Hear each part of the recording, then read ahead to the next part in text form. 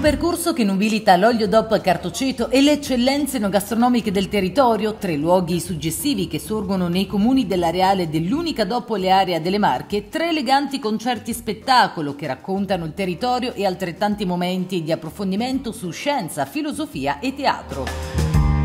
Ad un anno di distanza ritorna Conterranea, l'evento che mette insieme ristorazione, storia, natura e musica di qualità. Il format, promosso dai comuni di Cartoceto, Colli Almetaure e Monbaroccio e dalle rispettive Proloco, si prefigge l'obiettivo di far scoprire un territorio unico quanto ricco e plurale, capace di esprimere diversi itinerari viaggio condotto dalla narrazione teatrale di Filippo Paulasini inizia venerdì 30 giugno alle ore 20.30 da Colli al Metauro, nel comune che ospita il Museo del Balì. La serata, che si svolgerà in piazza Bramante nella frazione di Monte Maggiore al Metauro, indagherà il cielo quale luogo di esplorazione e di ispirazione. La proposta della cena è curata dagli chef Arsenio Teloni e Matteo Baldelli, con la collaborazione del divulgatore enogastronomico e sommelier Gianluigi Garattoni. Invece lo spettacolo musicale, dal titolo Viaggio sotto i cieli del mondo è un percorso costruito ad hoc dalla cantante Frida Neri, dal contrabbassista Filippo Macchiarelli e dal flautista Fabio Mina.